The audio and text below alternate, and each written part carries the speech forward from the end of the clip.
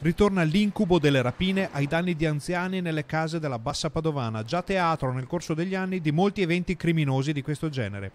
Stavolta è toccato ad Alda Ferrato, 74enne di Solesino. La banda ha aspettato che i negozi del quartiere fossero chiusi e che non ci fosse più nessuno per strada. Poi è accaduto questo. Ha sentito un botto sulla porta di entrata è andata subito verso la porta e si è trovata davanti un signore incappucciato eh, col berretto e la sciarpa e, e subito mi ha come un po' reagito chi sei, cosa vuoi eh, siamo i carabinieri, siamo i carabinieri. La 74enne non c'è cascata e ha cercato di spingerli fuori casa e a questo punto è scattata la violenza. Uno dei malfattori l'ha presa per un braccio e l'ha scaraventata a terra inchiodandola con il suo peso. Ha cercato di farlo uscire, ho detto no, voi non siete i carabinieri, uscite da casa mia. Eh, solo che quando è arrivata sulla porta ce n'era un altro, quindi hanno forzato in due sono riusciti a entrare.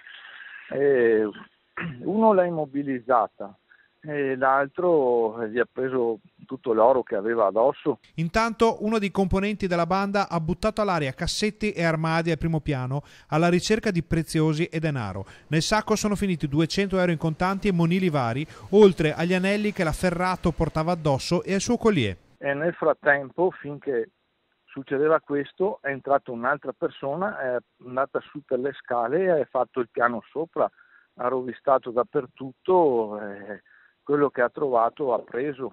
Il tutto in 9-10 minuti, non di più.